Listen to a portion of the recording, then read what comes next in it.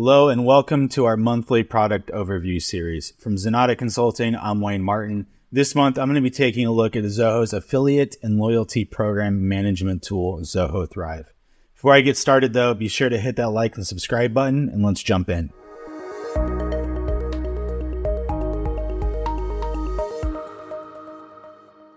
All right, let's take a quick look at the agenda for this product overview. First, I'm going to go ahead and cover the connection between Zoho Thrive and your shop. In this instance, I'll go ahead and connect our Shopify store and show you what that whole process looks like.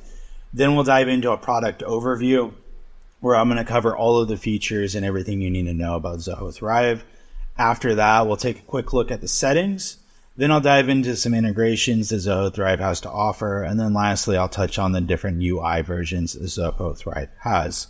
So without wasting any time, let's go ahead and jump into setting up your shop.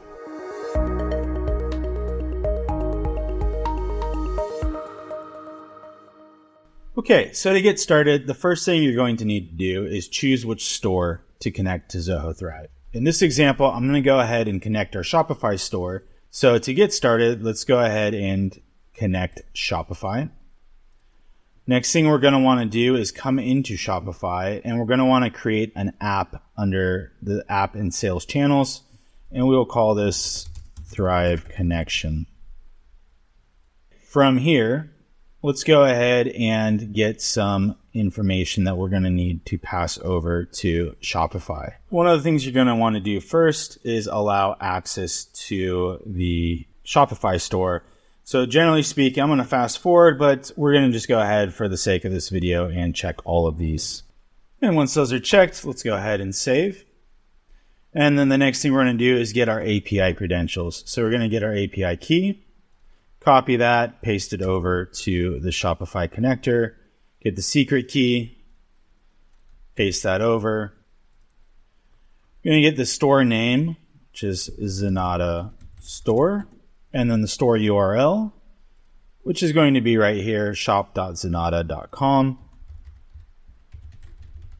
where you can get all your cool Zenatta swag. And then lastly, we're going to go ahead and install a token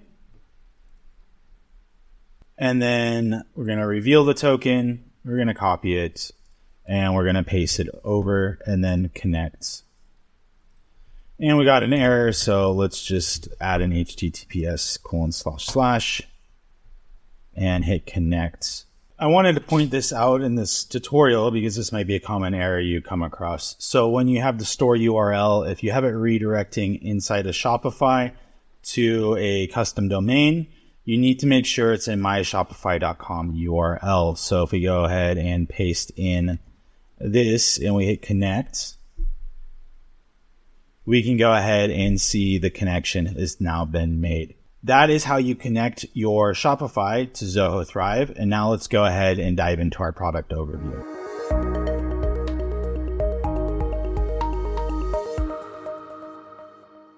Unlike kind of our other webinars in the past where we just do a brief rundown of the menu bars, Zoho Thrive is a pretty straightforward product with everything kind of right here in this core section. So I'm just going to go from top to bottom. So if you've already seen something, you can kind of skip ahead as I'm going down. But I'm just going to go over this whole product right now um, in this product overview section. And then towards the end, I'll go into settings real quick on on the next section, and then the integrations. Zoho Thrive is pretty much two things: it's a loyalty program and an affiliate program to get more brand awareness and loyalty to your brand through your store. So what you can do is how we just set up Shopify. We can go ahead and add tasks on a little widget that's going to appear on your shop. So subscribe to us on YouTube, follow us on Twitter become a member. So you can add different tasks for people that sign up to join your loyalty program and you can put points to these tasks. And from there, you can basically set, you know, different membership levels, different rewards that they can receive based on these different tasks they can earn points through. So, you know, referring a friend, maybe that's 50 points, you know, making a purchase, maybe that's 50 points. So depending on how many points you assign things, you can then start assigning rewards like coupons or pro- special coupons on a certain product. And you can set, you know, a point threshold to redeem. and get the various rewards for accumulating points. And then turn this on, we go ahead and just flip it on. And now since it's connected to our Shopify store, it's going to be appearing on our Shopify store, which we'll go over at the end. Next, we have reviews. So if you want someone to connect to, say, leave a review on your Google uh, account, you can go ahead and add a task, review on Google, add your URL Google path to your shop, and then you can go ahead and set the amount of rewards and then the reward points and then a quick message for them to see, you know, the value of filling that out.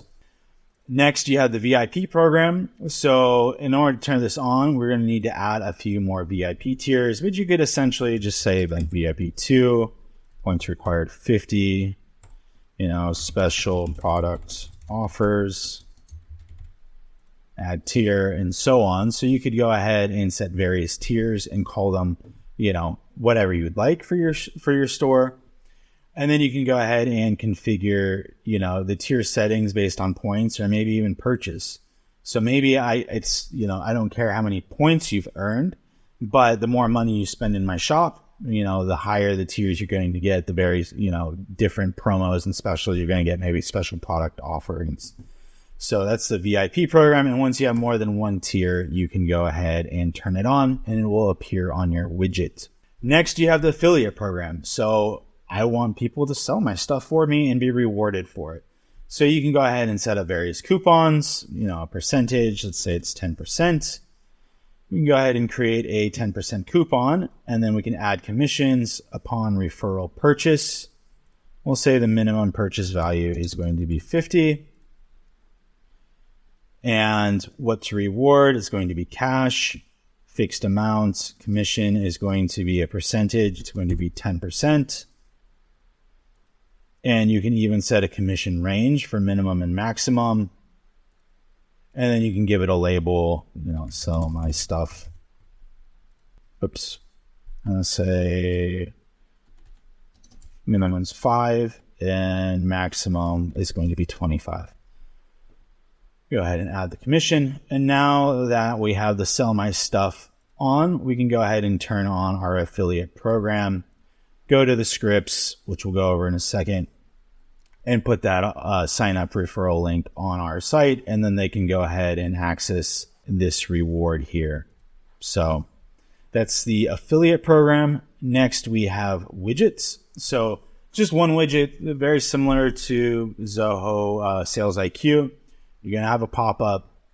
This pop up, can't really edit a whole lot You've got the placement, you know, where the position is going to be from the bottom and the side on the left or the right.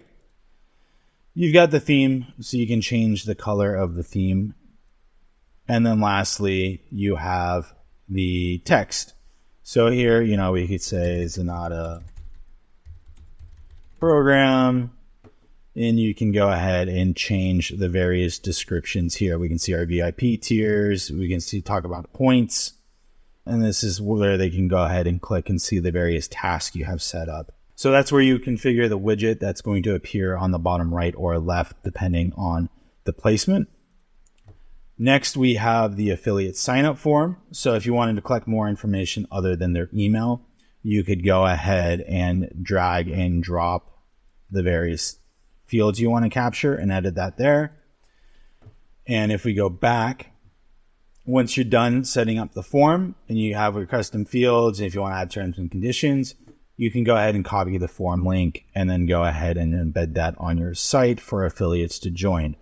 Next, you have notifications. So here you have when an affiliate or referral uh, purchase goes through. These are emails that you'll receive. And if you want to customize, you know, with some merge tags in here and add any additional fields, you can do it. But by default, these pretty much cover everything you're going to need. Next, you have the referral program. Same deal. Um, anytime someone makes a purchase, you're going to get alerted with the order ID, the referral program name, etc.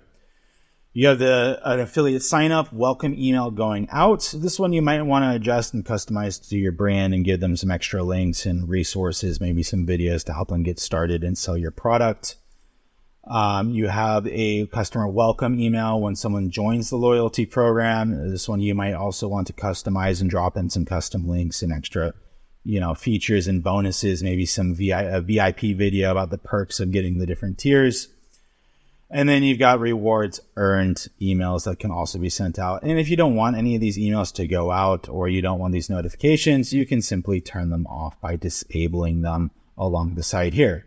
Next, we have assets. Um, this is just quick links to your shops. Uh, the scripts, if you're using API calls, here are all of your secret keys.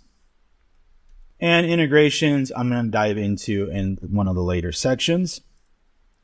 Next, we have program settings. So here you can go ahead and set up a cooling period. Maybe after someone signs up, they have to wait a day to start reaping the benefits you have cookie settings. So maybe you're in the EU or a country that requires you to display cookies. So you can simply turn them on, do the content, consent text, and set the length of how long the cookies will stay valid for tracking purposes. And then attribution settings. If someone is an affiliate and refers someone over, but then they don't make the purchase, and then another affiliate refers someone over, but then they end up making a purchase with the second affiliate, you can by default give the credit to the first refer instead. Uh, you can set point expirations for your loyalty program here. You can also do opt in settings. So activate an automatic program opt in. And then next, you have an affiliate blacklist. So you can restrict, you know, some specific IP addresses, block specific emails, block specific domains. Maybe you don't want your competitors having access to your sites. So you can go ahead and set that up here if you wanted to blacklist anyone set up a verification process, you know, whether it's manual or API. And then you can set up your payout limits. So you can set a ma- maximum limit here for how much someone can get paid out through your affiliate program, just to kind of a safeguard yourself. And then lastly, you have overview. Overview is going to be your reporting. So you can at a glance see your signups, commissions, reviews, and testimonial approvals you can see your payouts, what hasn't been paid, what has been paid, and what's on hold. You can go ahead and see a general snapshot of the overall performance of your loyalty and affiliate programs. And you can go ahead and see your participants, all of your affiliates, all of your loyalty participants, and any referrals that have come in. And then lastly, you can go ahead and see all of the purchases made through the affiliate program. So that's Zoho Thrive kind of in a nutshell, real quick. Next, we're going to dive into the settings, but that's going to wrap it up for the overview.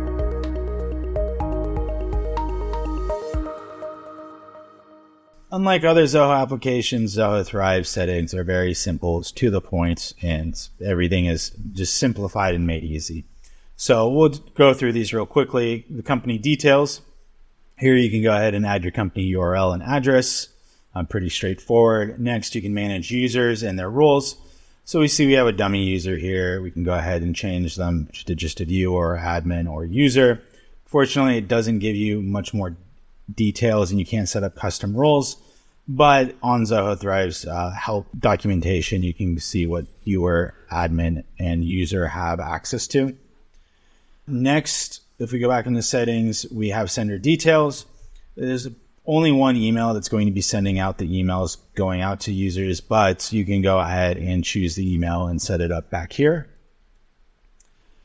Next, we have uh, payment integrations. Currently, there's only PayPal available. So, you, in order to get your affiliates paid out, you're going to need to set up a PayPal integration. Next, we have our brands. So here we can go ahead and see and manage all of our brands and we can edit, you know, the store name and the support email address here. Currency. If you wanted to add an additional brand, you simply just come up here to the main homepage and hit add new brand and it'll walk you through the same process we did at the beginning of this tutorial. Next, we have user activity log. So here you can go ahead and see all of the various changes that have been made so I added a dummy user. So as roles and permissions are changed or things are happening, you can at a quick glance see who changed what and when here in the activity log. And then lastly, the data anonymization. if for whatever reason someone no longer wants to participate and they want their data removed, you can completely remove a participant's data um, by entering their email address here per their request. So, like I said, pretty short and sweet. That's going to wrap it up for our settings. And now let's dive into our integrations.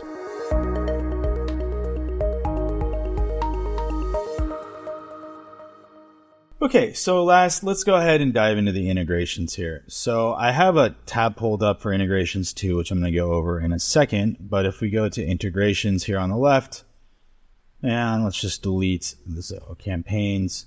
So we have Zoho campaigns, Zoho CRM, marketing automation, Bigin, depending on which you know platform you chose. Maybe you're Bigin and marketing automation, or maybe you're just CRM and campaigns you can go ahead and connect them back here. And this will go ahead and push the loyalty and affiliate data over to these platforms. Uh, next, you have other options such as HubSpot and Pipedrive. And then uh, Klaviyo, you also can connect as well for campaign integrations. So the main one you're going to want to connect, and I'll show you why I have this tab open in a second, is Zoho CRM. I do believe also Zoho Books is coming in the near future, so you can manage your affiliate and payout because that information you kind of want to have living in books as well. So we're going to connect our CRM, and we'll just choose this Rescue Rangers account. And just like that, Zoho CRM is connected. But you'll notice there aren't any like fields. It doesn't really give you much details of like what's pushing over. And that's why I have this documentation here because you're going to want to add these text fields and date fields to the leads and contacts modules inside of your CRM. Without these, this data is not going to push over. So it's very, very important that you go ahead and add these uh, fields here to Zoho CRM or Zoho Bigin. And then from there, I mean, we can connect Zoho campaigns and then integrate yellow error and if you get this error, um, I, have noticed sometimes this bugs out, which happens from time to time. But just like that, it is in fact connected, and it's going to push the data over to Zoho campaigns. But we want the data always, you know, I'm always an advocate of one source of truth. The main integration you're going to want is either Bigin or Zoho CRM, and then from there, the data, those fields that you would need to add you'd go ahead and create your campaigns based on the segments of the fields in the CRM. So whether it pushes over to campaigns or not, unless you're running campaigns standalone, but if you have CRM or Bigin, I would recommend pushing your data over to CRM. So just make sure I'll drop this link down in the description below, but make sure you, as you're setting this up, you go into CRM, you go into the settings, modules, and fields, and you add these custom fields. The text fields are text fields, and then the date fields are date fields. So just be sure to do that. Otherwise, this integration isn't really going to mean a whole lot for you. And then lastly, you know, this is going to be a little bonus. It's going to kind of wrap it up for integrations. Uh, just some things I wanted to touch on there. But this whole webinar, I've been doing the old version just because I am a fan of it. But there is a new version as well and by clicking switch to new version, you can go ahead and see the new version layout VIP, you know, or you can click the different program loyalty or affiliates. And then you got the affiliate sign up page and then the links. And then you got the affiliate overview, referrals, payouts, and performance. Personally, I think the old view, you can see all of everything a lot cleaner in, in one spot. So that's why I chose to do the old view with this webinar. Honestly, it's a preference. If you like the new version and how it looks and it works for you, by all means use it. You can easily switch back and forth uh, by simply clicking this button here. So that's going to wrap it up for Zoho Thrive. Uh, this was a short one. I hope you enjoyed this video. If you did, be sure to hit that like and subscribe button. It really helps out our channel. And you know, go to Club Zenatta. We post all of our events, all of our webinars, and we're always posting tips and new tutorials but Zoho has webinars. We post them all on Club Zenatta, as well do, as doing our best to answer your questions with the Zaz, Ask Zenatta anything about Zoho, posting resources, the latest Zoho news, and more. And for all of this information never miss a beat, be sure to subscribe to our newsletter at zenatta.com forward slash newsletter. It's going to wrap it up. Have a great one, and we'll see you in the next video.